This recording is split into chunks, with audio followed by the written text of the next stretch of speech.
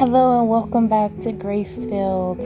I am so excited that you are here with me today, and I could not wait to share these ABC affirmation cards from Liberated Young.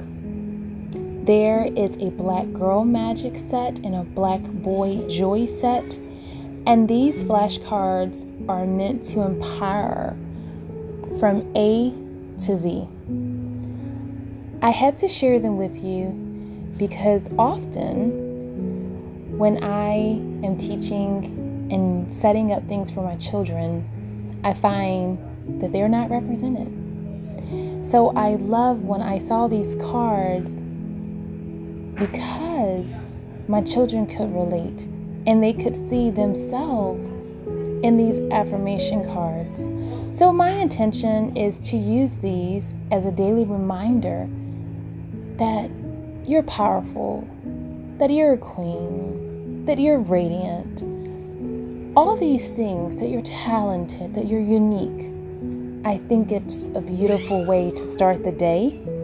And I think it's a beautiful way for them to see themselves when so many people want to tell them something negative about themselves. I love that we, as parents, as teachers, as home educators, wherever you are, you can tell them something different. You can change the narrative. It doesn't matter what others are saying. What are you saying? What are you teaching? I want to tell my child he's awesome, he's brilliant, he's creative. I want to tell him make sure you dream. I want to say you're epic, baby. You're the future. You're gifted. I want to remind them these things.